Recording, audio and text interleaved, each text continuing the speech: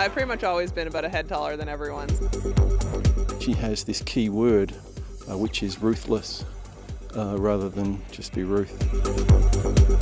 She was the piece that I think that we really were missing last year.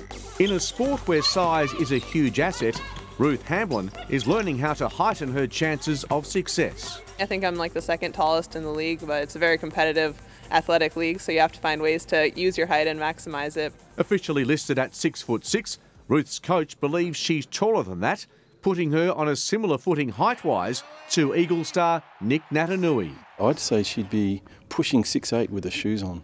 She's a very, very big girl.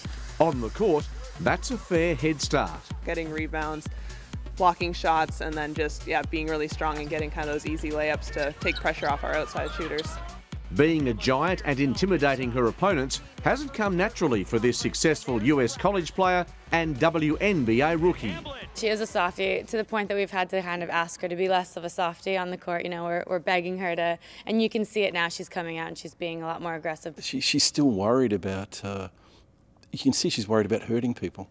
Her gentle nature makes her a popular figure at the Lynx.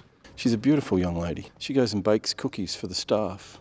Professional basketball in Australia is a world away from her childhood in Canada. I grew up on a Black Angus cattle ranch in British Columbia. A late starter in the game, Ruth is a work in progress, according to her former coaches. The figures they were saying to us is, look, she's only 70%, 75% done. There's a lot of room for improvement, and we've seen that. I think with Ruth, the beauty is that she is always learning. She's like a sponge out there. Learning to decipher how Australians talk has also been an education. Kind of just put all these slang words together and just be like, whoa, what the heck are you saying there? It didn't stop the 22 year old from a standout 21 point performance in her last game. Just learning to play in a championship culture and a championship team, that's huge. She really has embraced Perth and embraced Australia.